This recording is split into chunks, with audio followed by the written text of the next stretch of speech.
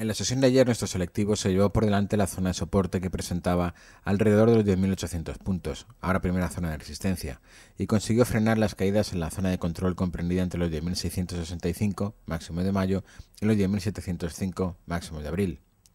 Dicha zona de control actuó en su momento como resistencia y ahora podría hacerlo como soporte. De hecho, no sería la primera vez ni será la última en la que vemos cómo nuestro índice, tras un fuerte rally, decide corregir apoyándose en la cresta del impulso alcista anterior para desde ahí reestructurarse de nuevo al alza. De todas formas, les recuerdo que nuestro selectivo, desde los mínimos de marzo hasta los máximos anuales, se revalorizó un 16% y desde los máximos, por el momento, nos hemos dejado un 5%, o lo que es lo mismo. Se podría decir que tan solo hemos corregido una tercera parte de lo subido. ¿Qué de malo en ello? Por debajo de los mínimos de ayer, no podemos descartar correcciones adicionales hasta los 10.480 y 10.500 puntos e incluso los 10.300 puntos.